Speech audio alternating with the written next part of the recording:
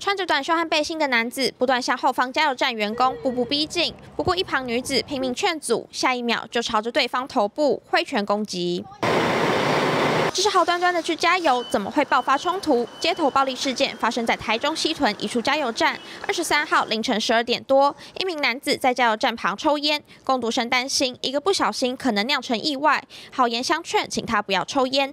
没想到这个举动竟然让对方恼羞成怒，当场动手打人。蛮无言的，蛮无言。明明就工作是劝导就被打，这是常事啊。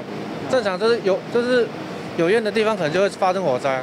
语气好无奈，明明加油站有清楚标示“请勿吸烟”标语，但嫌犯视若无睹。好意劝导，不但不领情，反而被客人动粗挥拳，让加油站员工人人自危。一名男性驾驶疑似因不满店员劝阻其勿抽烟，进而殴打、恐吓店员后离开。警方迅速于三小时内将该名犯嫌查缉到案。警方调查后发现，这名嫌犯前科累累，曾犯下诈欺、毁损、毒品、伤害等罪嫌。这次又在加油站闹事，好在警方三小时内将人逮捕归案，让他前科再添一笔，员工也不用继续担心受怕。记新闻郭燕婷、赖文忠、黄轩轩采访报道。